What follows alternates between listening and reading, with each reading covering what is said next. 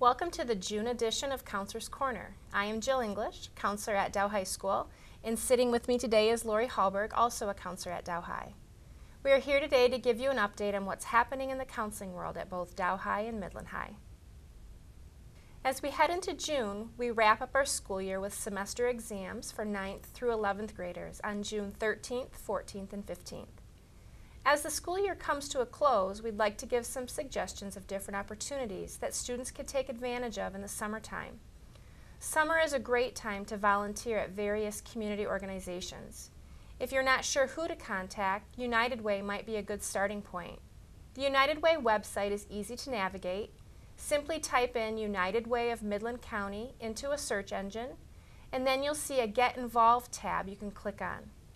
From there, you can check out all the opportunities as well as contact information.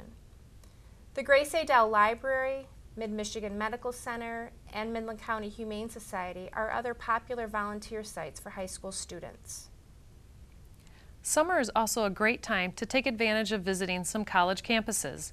Many colleges host visitation days in the summer where they give tours and general information about the school.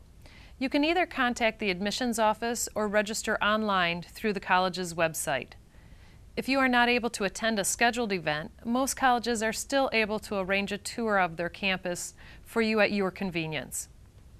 If incoming seniors, so current juniors, would like to get a head start on completing college applications, most colleges will have their updated applications available online starting August 1st.